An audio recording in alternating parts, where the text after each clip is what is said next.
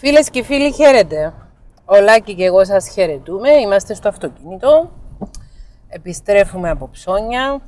Όπως βλέπετε πάνω αριστερά, έτσι όπως το κοιτάω εγώ στο πλάνο, δεν ξέρω πώς θα φαίνεται στο δικό σας πλάνο, έχουμε δύο φυτά από πορτοκαλιές γιατί αποφασίσαμε να αυξήσουμε τα οποροφόρα δέντρα στην αυλή μας. Έχουμε ήδη δύο λεμονιές και τώρα θα φυτέψουμε και δύο πορτοκαλιές, αλλά δεν ξέρουμε λάκι πότε θα έχουμε καρπούς.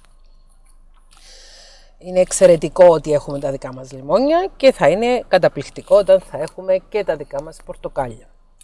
Λοιπόν, το σημερινό βίντεο έχει να κάνει με τη φιλία. Αλλά όχι τη φιλία γενικά, ειδικά για τις μακροχρόνιες φιλίες, οι οποίες μπορεί να είναι τοξικές, καταπιεστικές, κακοποιητικές σχέσεις, αλλά να διστάζουμε να τις τερματίσουμε λόγω του ότι είναι μακροχρόνιες ή έχουμε επενδύσει πολύ συναισθηματικά σε αυτές ή το κακοποιητικό μέρος της φιλικής σχέσης εξασκεί πάνω μας επίκληση στο συνέστημα, επικαλείται τις πολλές φορές που μας έχει ακούσει, που μας έχει βοηθήσει, που ήταν εκεί για μας και λέει τώρα θα με παρατήσεις, θα έτσι θα διαγράψεις με μια μόνο κοντιλιά όσα έχουμε περάσει μαζί. Αφορμή για το συγκεκριμένο βίντεο το σημερινό είναι ένα σχόλιο κάτω από ένα βίντεο στο οποίο μιλούσαμε για σχέσεις με νάρκισσους, κακοποιητικές ναρκισσιστικές σχέσεις και γράφει ένας φίλος τι γίνεται όμως στην περίπτωση που το άτομο αυτό που έχει ναρκισσιστικά χαρακτηριστικά είναι ένας φίλος μας με τον οποίο μας συνδέει μακροχρόνια φιλία την οποία δεν μπορούμε να χαλάσουμε. Και έμεινα και το κοιτούσα το βίντεο, απάντησα αυθορμήτως με ένα σχόλιο μονολεκτικό, αλλά θεώρησα ότι αυτό το θέμα μπορεί να αφορά πολλούς ανθρώπους και είναι εξαιρετικά καλή ιδέα να το κάνουμε βίντεο. Γιατί έχουμε εστιάσει πολύ στο πώς διακόπτουμε σχέσεις τοξικές με συγγενείς μας, ακόμη και με τους ίδιους μας τους γονείς, πώς πάμε no contact, no contact σημαίνει πάμε σε μηδενική επαφή, πώς διακόπτουμε σχέσεις ερωτικές ή γάμους και χωρίζουμε από έναν άνθρωπο ο οποίος με το στυλ της προσωπικότητας που κουβαλάει μας ταλαιπωρεί και μας κακοποιεί και μας προκαλεί πολλές φορές ορατή και άλλες φορές αδιόρατη κακοποίηση. Αδιόρατη κακοποίηση είναι η ψυχική κακοποίηση η οποία δεν έχει φανερά σημάδια, δηλαδή το nagging. Nagging σημαίνει κάποιος να βρίσκει τον τρόπο μέσα σε μια κουβέντα που να την παρουσιάζει ως φιλική και ως αστείο να μας ρίχνει χολή. Ε, πολλοί από εσάς έχετε χρησιμοποιήσει για τη λέξη nagging μια ε, ελληνική καινολεξία, καινολεξία με αρφαγιώτα, καινούρια λέξη, αν υπάρχει. Αν έχω δημιουργήσει και εγώ μια καινούρια λέξη, απολογούμε. Έχετε χρησιμοποιήσει τη λέξη προσβλημέντο, δηλαδή εκεί που νομίζεις ότι θα σου κάνει κομπλιμέντο, στην ουσία σου χώνει προσβολή. Και είναι πολύ συνηθισμένα τα φαινόμενα να σου λέει, για παράδειγμα, Πω πω τι ωραίο αυτό που έχεις φτιάξει, που έχεις φτιάξει, αν το έκανες και λίγο έτσι θα ήταν καλύτερο. Ή πολύ ωραία τα μαλλιά σου, αν έβαζες κιόλας και μακιγιάζ θα φαινόσουν πιο όμορφη και λοιπά και λοιπά. Υπάρχει ολόκληρο playlist με τίτλο hashtag nagging. Το nagging είναι η ηρωνία, η κοροϊδία, η υποτίμηση η οποία σερβίρεται ως καλόπιστη κριτική και η, αυτή η κριτική, η, που, αυτοί οι τύποι που κάνουν nagging είναι αυτόκλητοι συμβουλάτορες, δεν τους έχει ρωτήσει κανείς τη γνώμη τους. Σερβίρεται ως καλόπιστη εντός πολλών εισαγωγικών κριτική, σε, σερβίρεται ως αστείο, σερβίρεται ως χιούμορ και σου λέει καλά, είσαι τόσο υπερευαίσθητος είσαι και δεν σηκώνεις χιούμορ και δεν σηκώνεις ένα αστιάκι κλπ. κλπ, κλπ.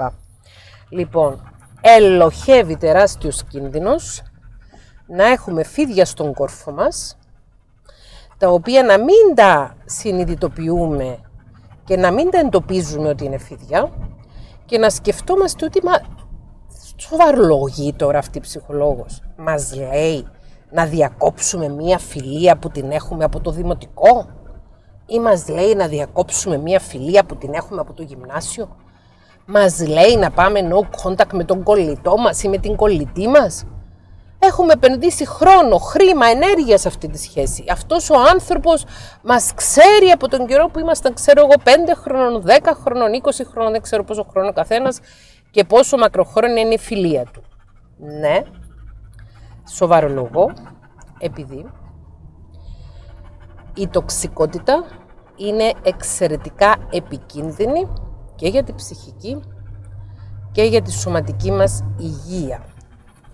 Κάπου διάβαζα πρόσφατα μία πρόσφατη μελέτη της ψυχολογίας υγείας η οποία λέει ότι εάν ένας άνθρωπος βιώνει μια ψυχοπιεστική συνθήκη που ψυχοπιεστική συνθήκη μπορεί να είναι το να δέχεσαι mopping στη δουλειά σου, το να δέχεσαι nagging ή bullying από έναν μακροχρόνιο φίλο σου, το να δέχεσαι αδιόρατη κακοποίηση από τον σύντροφό σου, κάνει τόση πολύ ζημιά στην υγεία, όσο το να καπνίζει κάποιος 15 τσιγάρα ημερησίως.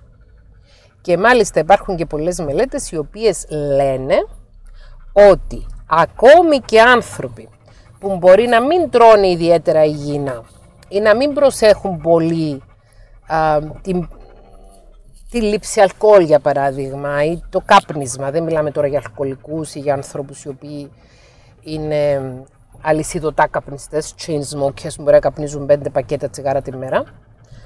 Μιλάμε για ανθρώπους οι οποίοι θα μπορούσαν ρε παιδί μου να βελτιώσουν α, τις υγιεινές τους συνήθειες, μπορεί να έχουν πολύ καλύτερη υγεία εάν αυτοί οι άνθρωποι ζουν μια ζωή χωρίς ψυχοπιεστικές συνθήκες, χωρίς το άγχος και το στρες που προκαλείται όταν έχεις να κάνεις με τοξικούς, κακοποιητικούς, αδιάγνωστους και ενάρχιστους ανθρώπους, μπορεί να έχουν πολύ καλύτερη υγεία από άλλους ανθρώπους οι οποίοι προσέχουν ενδελεχώς την υγεία τους, προσέχουν πολύ τη διατροφή τους, ασκούνται συνέχεια και μπορεί να ζήσουν περισσότερο καιρό και να έχουν καλύτερη υγεία. Με αυτό δεν θέλω να σας προτρέψω να μην ασκήστε, να μην προσέχετε τη διατροφή σας, να μην κόψετε τις κακές συνήθειες.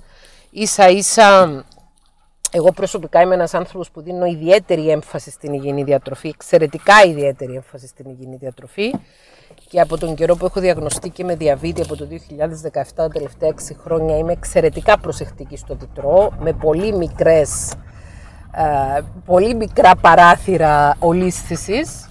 Εξαιρετικά λίγες φορές ε, ε, κάνω αβαρίες στη διατροφή μου. Είμαι ένας άνθρωπος ο οποίος κάπνιζα επί σειρά ετών το 2002 μέχρι το 2015-2013 χρόνια και έκοψα το κάπνισμα μαχαίρι. Είμαι ένας άνθρωπος ο οποίος σπανίως πίνει αλκοόλ, ενώ υπήρχε ένα χρονικό διάστημα στο οποίο έπινα συχνά αλκοόλ.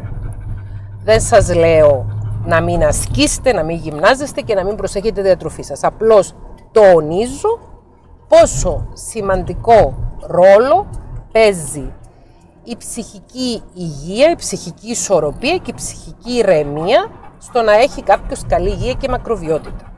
Έχω ένα παρά, παράδειγμα το οποίο είναι πω, πω, πω, πω, πολύ παλιό παράδειγμα, πάνω από 20 ετία. Κάπου έμενα ρε παιδιά και απέναντι ήταν ένα σπίτι, στο οποίο ήταν ένα ζευγάρι, το οποίο μου φαινόντουσαν πολύ περίεργο. Δεν είχα σχέσεις μαζί τους. Όχι. Ε, ήτανε, είχα μετακομίσει εκεί για ένα μικρό χρονικό διάστημα και φύγα και πολύ νωρίς από εκείνη τη γειτονιά. Ε, μπορεί να κάθισα δύο-τρία χρόνια. Και αυτό που παρατηρούσα ήταν δύο πράγματα. Το ένα το πράγμα ήταν ότι το ζευγάρι είχε συνεχείς ε, καυγάδες στους οποίους καυγάδες συνήθως έβαζε τις φωνές ως η σύζυγος και κατηγορούσε τον άνδρα της για διάφορα.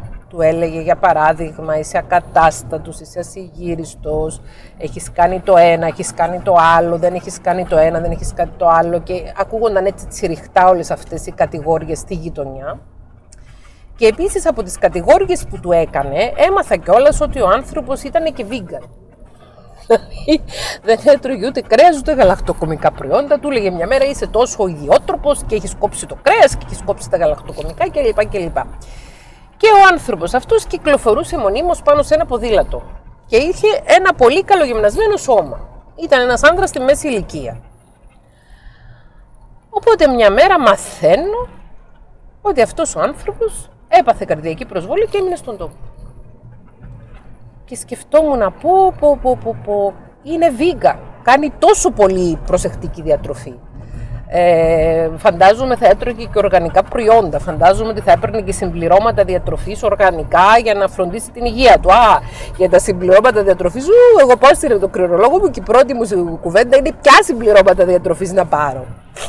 Λοιπόν, εδώ να σας πω ότι περισσότεροι από εμάς χρειαζόμαστε βιταμίνη D και δεν φτάνει η ηλιοφάνεια για να την πάρουμε και είναι καλή ιδέα αν θέλουμε να έχουμε καλή σωματική υγεία εκτός του ότι πρέπει να καθαρίζουμε το χώρο από τοξικούς ανθρώπους που θα μας ψυχοπιέσουν και μπορεί να μας χαλάσουν την υγεία μας, είναι επίσης εξαιρετικά καλή ιδέα να επισκεφτούμε έναν ενδοκρινολόγο. Ενδοκρινολόγος είναι η ειδικότητα η οποία μπορεί να μας πει τι είδους αναλύσεις να κάνουμε για να φανεί τι είδους ελλείψεις έχουμε στο σώμα μας από ιχνοστοιχεία και λοιπά και να μας συστήσει τι είδους συμπληρώματα διατροφής εάν χρειάζεται να πάρουμε. Εγώ προσωπικά πάω στην δόκτωρα Στέλλα Καουρή, η οποία είναι ενδοκρινολόγος και είναι και διαιτολόγος επίσης, η οποία μου κάνει, κάνουμε τις αναλύσεις και βρίσκουμε τι χρειάζεται να πάρω. Εγώ για παράδειγμα παίρνω καθημερινά βιταμίνη D3 και παίρνω και μαγνήσιο που το χρειάζομαι και διάφορα άλλα. Τώρα θα σας πω τι παίρνω εγώ, γιατί δεν σημαίνει ότι αυτά που χρειάζομαι εγώ τα χρειάζεστε κι εσείς, αλλά από ό,τι έχω ακούσει, η βιταμίνη D3 υπολείπεται σε πολλούς ανθρώπους. Είναι σε χαμηλά επίπεδα. Λοιπόν, αυτός ο τύπος, ο οποίος πρόσεχε επιμελώς την υγεία του, αλλά ζούσε μια ψυχοσπιεστική συνθήκη στην οποία συνέχεια δεχόταν λεκτική επιθετικότητα από τη γυναίκα του, πέθανε νωρίς. Τώρα, με αυτό δεν θέλω να πω ότι τον πέθανε η γυναίκα του. Εντάξει, γιατί δεν γνωρίζουμε τι συνέβαινε σε εκείνο το ζευγάρι. Δεν γνωρίζω. Πραγματικά, ό,τι γνωρίζω είναι ότι έχω ακούσει. Ό,τι έχω ακούσει από τις φωνές που έφτασαν μέχρι το δικό μου σπίτι. Ε, λέω τώρα έχει πάνω από 20 χρόνια κουβέντα. Πάρα πολλά χρόνια. Λοιπόν, ε, υπάρχει μεγάλη περίπτωση και αυτός να είχε τα δικά του μερίδια ευθύνης για τα προβλήματα που είχε το ζευγάρι μεταξύ τους. Δεν ξέρω τι μπορεί να συνέβαινε. Μπορεί και αυτός να ήταν με το δικό του τρόπο κακοποιητικός. Μπορεί σίγουρα να έκανε παθητική επιθετικότητα. Ε, άμα ακούς μόνο έναν να φωνάζει και τον άλλο να μην φωνάζει, σημαίνει ότι αυτός που δεν φωνάζει συνήθως κάνει παθητική επιθετικότητα. Δεν μπορούμε να γνωρίζουμε.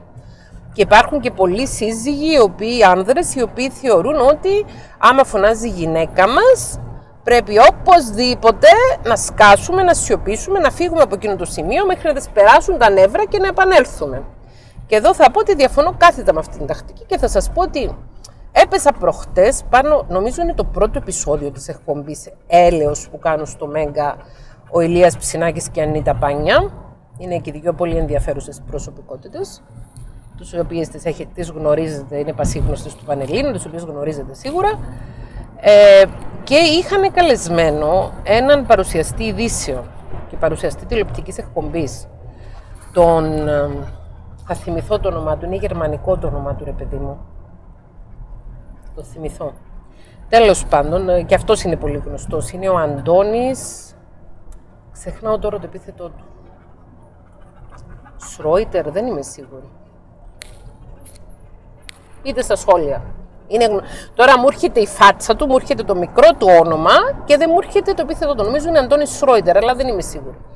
Ο οποίος έλεγε εκεί πέρα ότι όταν τσακώνεται με τη γυναίκα του, λέει μάλλον όταν τσακώνεται η γυναίκα του μαζί του, ότι αυτός φεύγει από το σπίτι, φεύγει από το δωμάτιο ή φεύγει από το σπίτι, πάει σε άλλο όροφο μέχρι να της περάσουν τα νεύρα και να επιστρέψει πίσω. Και του λέγει η Ανίτα Πάνια, αυτό που κάνεις δεν είναι σωστό. Και εγώ είμαι με το μέρος της Ανίτας.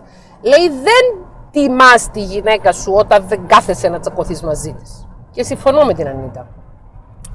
Και μάλιστα ο Αντώνης είπε πω, πω δεν το είχα σκεφτεί και να το έχω υπόψη μου και να το διορθώσω. Τώρα σας μιλάω γιατί έτυχε να δω ένα απόσπασμα από εκείνο το επεισόδιο και μου έκανε εντύπωση η παρέμβαση της Ανίτας Πάνια ε, εδώ θέλω να πω ότι δεν συμφωνώ με όλες τις εκπομπές που έχει κάνει η Ανίτα Πάνια και δεν συμφωνώ με όλες τις απόψεις που έχει εκφράσει κατά καιρούς η Ανίτα Πάνια, όμως τη θεωρώ ένα ιδιαίτερα ευφυές πρόσωπο, το οποίο πολλές φορές λέει πράγματα τα οποία έχουν νόημα και ουσία και είναι και σκεπτόμενο πρόσωπο. Και σίγουρα εξελίσσεται αυτός ο άνθρωπος, όπως όλοι οι άνθρωποι σκεπτόμενοι προσπαθούμε και εξελισσόμαστε. Και μου άρεσε πάρα πολύ αυτό που του είπε. Του λέει: Δεν την τιμάς τη γυναίκα σου όταν αυτή είναι θυμωμένη, όταν αυτή σου σε κατηγορήσει για κάτι, όταν σου κάνει ένα παράπονο, όταν υψώσει τον τόνο της φωνής της και εσύ σηκώνεσαι και φεύγεις και δεν της κάνεις την τιμή να τσακωθείς μαζί της. Η παθητική επιθετικότητα είναι επίσης επιθετικότητα. Δηλαδή το να σου βάζει η γυναίκα σου τις φωνές και εσύ να μην λες τίποτα και να σηκώνεσαι να φεύγεις είναι παθητική επιθετικότητα. Οπότε πηγαίνουμε πίσω στο παράδειγμά μας, δεν ξέρουμε αν αυτός ο άνθρωπος ήταν μόνο θύμα ή ήταν επίσης και θήτης. Πολύ πιθανό να ήταν επίσης και θήτης και ούτε έμεινα πολλά χρόνια σε εκείνη τη γειτονιά για να δω τι απέγινε η γυναίκα του. Μπορεί και αυτή σύντομα μετά να έφυγε από τη ζωή. Δεν ξέρω. Σίγουρα ούτε αυτή ζούσε ιδιαίτερα καλή ζωή με τους καυγάδες καθημερινά ή μπορεί που πέθανε ο άντρας να έζησε πολύ καλύτερη ζωή. Δεν ξέρω. Δεν ξέρω. υπάρχουν πολλά στοιχεία, πολλά data ερευνητικά, τα οποία συνδέουν τις ψυχοπιεστικές καταστάσεις με τη χειρότερη υγεία και μικρότερο προσδόκιμο ζωής. Αυτό που σας είπα ήταν ένα παράδειγμα το οποίο έτυχε να παρατηρήσω. Εντάξει, και σας ξαναλέω, δεν ήμουνα μέσα στο ζευγάρι, δεν ήταν θεραπευόμενη μου, δεν γνωρίζω τις πραγματικές δυναμικές του ζευγαριού. Και πολλές φορές βγαίνει προς τα έξω ότι κάποιος είναι κακός και καυγατζής, ενώ μπορεί να είναι και το θύμα εκείνης της σχέσης.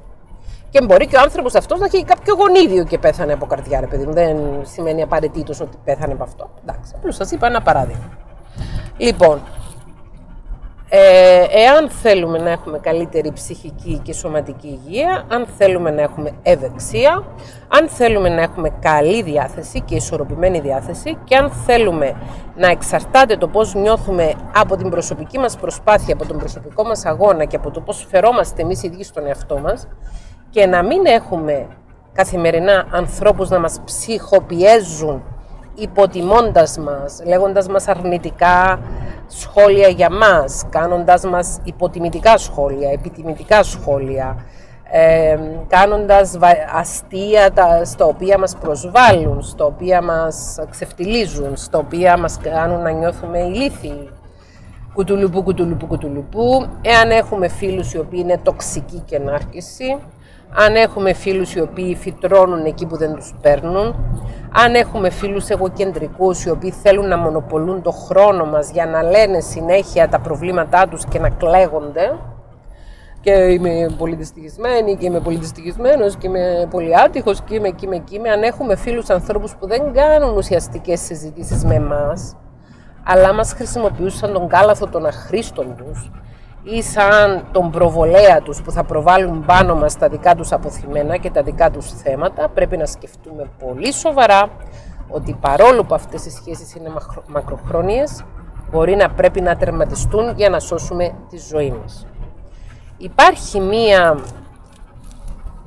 σκέψη όσον αφορά στις, ε, στο πώς λειτουργούν οι ανθρώπινες σχέσεις. Υπάρχει μία ένδειξη ότι οι ανθρώπινες σχέσεις είναι ε, σαν να κολλάνε πάνω σου. Δηλαδή αν ξεκινήσεις μια σχέση, αν ξεκινήσεις μια φιλία, σαν να και υπάρχει μια εσωτερική επιθυμία να συνεχίσεις αυτή τη φιλία και αυτή η φιλία να μακροημερεύει και θεωρείται και, και το θεωρούμε και υποσυνείδητα σαν ένα επίτευγμα το να έχουμε μακροχρόνιους φίλους που αυτή η, η, τάση και η στάση να έρχεται από τον πρωτόγονο άνθρωπο ο οποίος εάν απομονωνόταν κοινωνικά, κυριολεκτικά θα πέθαινε. Σκεφτείτε ότι οι πρωτόγονοι άνθρωποι ζούσαν σε μικρές ομάδες ανθρώπων, ήταν 90, 70, 100 άνθρωποι, όπου ο καθένας από αυτούς, εάν έμενε μόνος του, χωρίς την υπόλοιπη φυλή, κινδύνευε από καιρικά φαινόμενα, άγρια θηρία και ούτω καθεξής. Για τους πρωτόγονους ανθρώπους ήταν θέμα επιβίωσης να μείνουν πάση θυσία μαζί με τους υπόλοιπους ανθρώπους. Και οι πρωτόγονοι άνθρωποι είχαν να διαλέξουν από μία λεκάνη, ξέρω εγώ, 70, 80, 90, 100 ανθρώπων να κάνουν παρέα. Δεν είναι σαν εμάς που έχουμε να διαλέξουμε από 8 δισεκατομμύρια ανθρώπων στο πλανήτη να κάνουμε παρέα και σαν τη σημερινή εποχή, την εποχή του διαδικτύου που μπορούμε και να δημιουργήσουμε και να διατηρήσουμε φιλίες στον κυβερνοχώρο.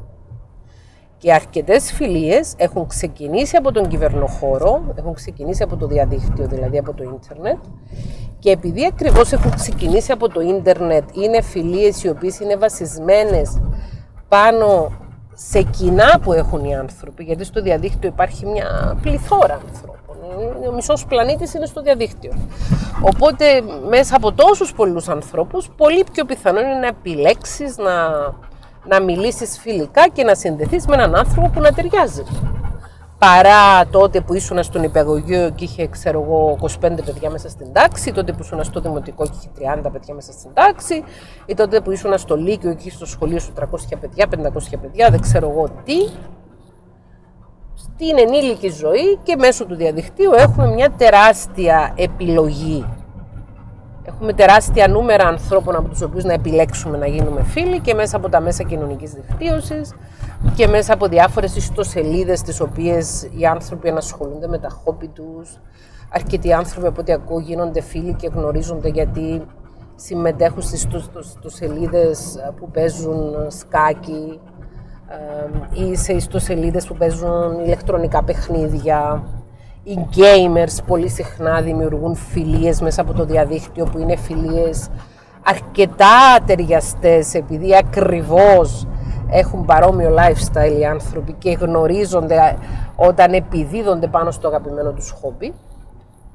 Οπότε, εφόσον πλέον δεν είναι τόσο δύσκολο να δημιουργήσουμε φιλίες, ας μπούμε στη διαδικασία να ξεσκαρτάρουμε τις μακροχρόνιες φιλίες μας και μόνο χάρη θα κάνουμε στον εαυτό μας αν διακόψουμε μια φιλία με έναν άνθρωπο που εμείς νιώθουμε και είμαστε πεπισμένοι ότι είναι τοξικός για μας. Ε, και όπως σε κάθε περίπτωση που διακόπτεις μια σχέση με έναν άρκισο, πρέπει να ξεκαθαρίσεις ότι εγώ προσωπικά αποφασίζω να φύγω από αυτή τη φιλία για τους δικούς μου λόγους. Θεωρώ ότι δεν μου ταιριάζει η φιλία αυτή Έχω πάρει αυτή την απόφαση λαμβάνοντας υπόψη αυτό και αυτό και αυτό και αυτό το περιστατικό. Με αναφέρετε και μερικά περιστατικά, σίγουρα υπάρχουν πάρα πολλά με τέτοιους ανθρώπους. Και παραμένουμε σταθεροί στην απόφαση μας για διακοπή της φιλίας και δεν ενδίδουμε σε προσπάθειες hoovering που μπορεί να κάνουν αυτοί οι τύποι τοξική και ενάρκηση ή σε stalking ή σε οτιδήποτε άλλο. Υπάρχουν πολλές περιπτώσεις τις οποίες μπορεί ένα πρόσωπο ε, αφού αντιληφθεί ότι βρίσκεται σε μια τοξική φιλία όπου καταπιέζεται από τη χειριστικότητα, τον, την αίσθηση δικαιωματισμού, ε, το γεγονός ότι ο φίλος του θέλει να μονοπολεί το χρόνο του, που έχουν διακόψει αυτή τη φιλία και ως αποτέλεσμα κατέληξαν να ταλαιπωρούνται τόσο πολύ με έναν πρώην φίλο, πρώην φίλη που τους κατασκοπεύει και προσπαθεί συνεχώς να έρθει σε επαφή μαζί τους και δεν δέχεται τη διακοπή της φιλίας τόσο πολύ όσο αν χωρίσουν από ένα τοξικό κολλημένο γκόμενο. Ναι, γιατί όπως έχουμε πει και στο βίντεο που βγήκε την προηγούμενη Δευτέρα, οι φιλίες είναι πλατωνικές σχέσεις. Είναι πλατωνικοί έρωτες οι φιλίες. Χρήσιμη και απαραίτητη για την επιβίωσή μας και για την ψυχική μας υγεία και ευεξία, επικίνδυνες όμως οι φιλίες όταν είναι τοξικές και μας ψυχοπιέζουν. Δεν είναι λόγος για να συνεχίσουμε να κάνουμε παρέα με έναν άνθρωπο που μας κακοποιεί ψυχικά. Δεν είναι λόγος το γεγονός ότι έχει πολλά χρόνια που κάνουμε παρέα για να μην διακόψουμε αυτή τη φιλία. Δικαιούμαστε και οφείλουμε να το κάνουμε για να προστατεύσουμε τον πολύτιμο εαυτό μας. Φιλιά!